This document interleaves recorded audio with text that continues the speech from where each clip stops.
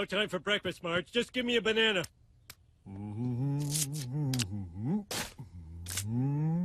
Now listen, I have to work late tonight.